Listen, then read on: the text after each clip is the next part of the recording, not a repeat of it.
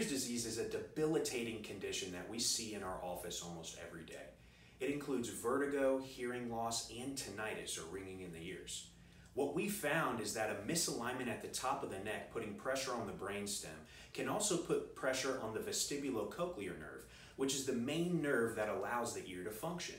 Once we take pressure off that nerve, the ear functions better and the Meniere's goes away.